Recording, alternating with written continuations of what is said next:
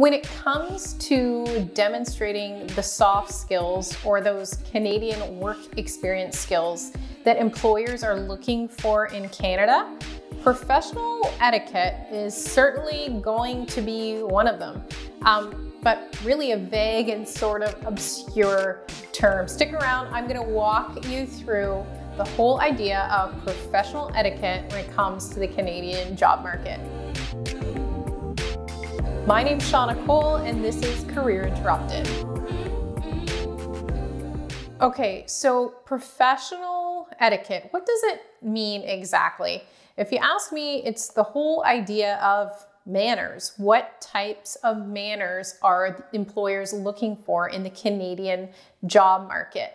A great way to demonstrate that you have an understanding of the professional etiquette norms, i.e., the manners that employers are expecting is to use those manners in your job search.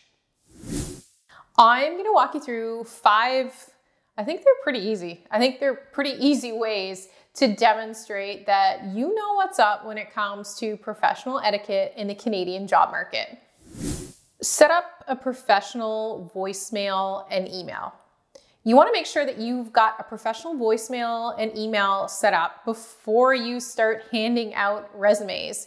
Because employers, well, they're either going to call or email you. And if you don't have these foundational elements in place, how are they going to reach you?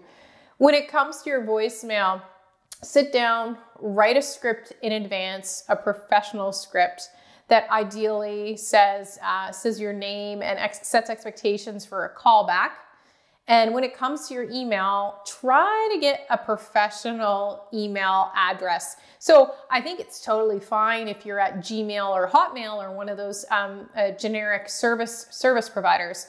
But you want to make sure that the words that you're choosing don't have any sort of identifiers like your age or where you're from or anything that's just sort of silly or inappropriate. If at all possible, try to get your first and last name and add um, add maybe an obscure number if you have to, not the year you were born. Um, I'm pretty much against providing personal information in any way, shape, or form in a job search process because those things can lead to bias against the candidate, and we want to eliminate that whenever possible. Set up a LinkedIn profile before you start your job search. It's pretty common for an employer to search for you on LinkedIn to learn more about your background and qualifications um, before, before they even have you in for an interview at times. So you want to make sure that you're showing up online in a really professional way, in a way that's going to advance your candidacy instead of hold you back. So think about what your LinkedIn profile is looking uh, looking like these days. Is it like selling you and uh, adding value to uh, to your candidacy? Is it maybe doing nothing because it's like crickets over there and kind of empty? Consider completing your LinkedIn profile. Provide information in your profile that shows the work you have done. You've got great opportunities using LinkedIn to showcase previous work. You can use functions in the featured section to even upload some files. So consider setting up a LinkedIn profile before you ever head out on a job search to really elevate your candidacy. Do not drop by to see a Canadian employer. There is no dropping in. Canadian employers want you to have an appointment set up before you show up on their doorstep. So I know in some countries that would be perfectly acceptable and we can go and stop in on our potential employers. Uh, but in Canada, I would say definitely do not do this because that employer is probably going to think you're annoying. So a Canadian employer is going to expect that you are going to have some sort of knowledge about their company before you arrive at an interview.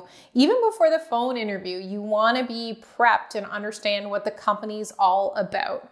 A great place to start is the company website. Check it out, learn about the company, find some sort of interesting fact that you can perhaps ask a question about Take it a step further, check them out on social media. What sorts of content are they posting? Take a look at it. Find a post that you find particularly interesting and engage in a discussion with them about it. Better yet, if you can find someone, if you have someone in your network that works for that company, reach out to them, have a conversation with them, and see what it's like to actually work with that organization. So, a Canadian employer is looking for your input on your career. They want to know that you have a clear direction in mind. I know in some cultures it would be more accepted to say, you know what, I'm just looking for whatever job you want to give me. In the culture in Canada, that's really not the case. The Canadian employer is likely going to want you to weigh in and help them understand what it is you want out of your career. So it's going to be critically important that you have already developed some sort of career vision for yourself. This exercise starts with finding career clarity.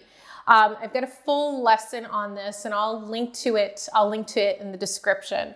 But what you really need to take away from this item is that it's critically important that you know, you know what your objective is and what your vision is for your career before you're out looking for a role in the Canadian job market. When it comes to the whole idea of professional etiquette, this is absolutely something employers want to see that you've got as you enter enter in the interview process. You can absolutely get an advantage by showing through your actions and through a well-organized job search that you do understand what those norms are. So today we talked about a few of those key norms, like making sure you've got your email in place and your LinkedIn profile and so on. These are professional standards that Canadian employers are absolutely expecting of you. If you found this video helpful, please go ahead and subscribe to my channel and do not drop by. Do not drop by. You absolutely, you gotta make an appointment. Mm-mm, do not drop in. Thanks so much for watching and remember, make change work.